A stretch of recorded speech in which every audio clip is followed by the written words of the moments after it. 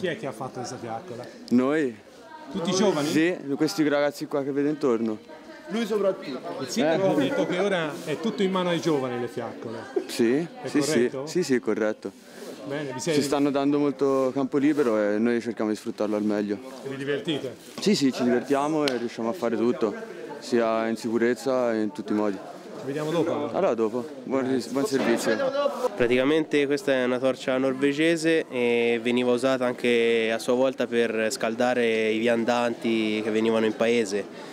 Eh, Prima dell'accensione della vera fiaccola veniva accesa questa torcia.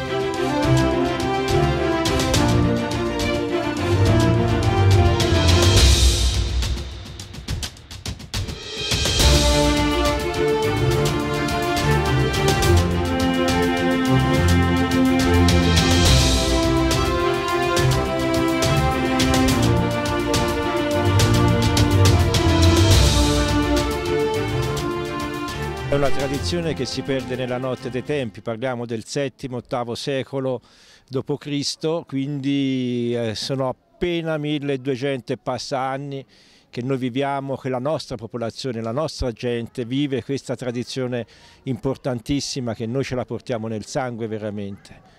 Fin da piccoli noi vediamo queste cataste, sentiamo il, il rumore del fuoco, ne apprezziamo il calore, le scintille, quindi fanno parte proprio del nostro immaginario. E qualsiasi badengo nel mondo che è lontano sente questa profonda nostalgia di questo luogo che in questi giorni assume un aspetto magico, ma non nel senso come si intende oggi magico, nel senso di una tradizione vera, sentita, nel segno del fuoco che contraddistingue questa terra. Una terra che è legata a un vulcano bellissimo, meraviglioso, il Montamiata, che è un'isola sulla terraferma, come l'ha definita padre Balducci, e che dentro le sue viscere tiene appunto questo fuoco che alimenta anche le nostre anime, le nostre passioni. Le fiaccole sono questo emblema, rappresentano questa spiritualità profonda di questa comunità, legata anche a, a- a simbologie del fuoco di tradizione celtica. Quindi c'è un misto di tradizione cristiana, profondamente cristiana, perché comunque la festa è della nascita del bambino Gesù, abbinata a quella che invece è poi la tradizione più laica, diciamo, che è proprio legata alla simbologia del fuoco. Noi come cittadini di Abbadia non potremmo appunto, ripeto, vivere lontano da, questa- da questo tipo di festività. Ci lega da sempre, anche nei giorni precedenti, oggi, a quella che è il rito che si compie questa sera, che è il 24 di, gennaio, di dicembre, scusate, che lo viviamo attraverso un allestimento del nostro borgo medievale, che anche questo rappresenta ca- caratteristiche abbastanza uniche, con allestimenti di piccoli presepi, di ambientazioni, di luoghi, ovviamente incorniciati dentro queste altissime cataste che noi chiamiamo fiaccole, ma che chiunque girando dentro il borgo può vedere che sono delle pire altissime fino a 7 metri.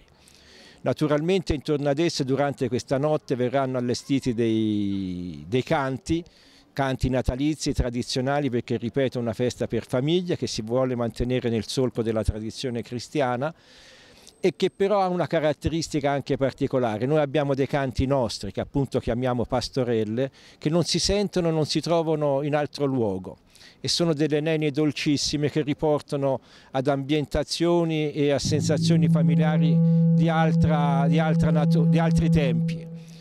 Quindi noi che siamo così eh, gli ultimi nel tempo, affrontiamo gli anni 2000, ci vogliamo portare dentro questo segno contraddistinto, come ripeto, da oltre 1200 anni, per trasferirlo alle nuove generazioni che lo stanno cogliendo in pieno perché questi giovani sono loro oggi gli artefici di queste monumentali cataste e si danno da fare con un impegno, una dedizione che non si può trovare in altri segni della nostra comunità durante l'anno. Questa è una tradizione ancestrale di grandissimo significato che porta Badia San Salvatore ad essere punto di riferimento, oggi eh, capitale della Toscana, perché l'accensione delle fiaccole eh, dà il senso di festività natalizie che iniziano con eh, il voler bruciare tutto ciò che c'è stato eh, di sbagliato in passato, il voler fare un reset, diremmo oggi davanti a un computer e questo vale per Abbadia, vale per tutta la Toscana.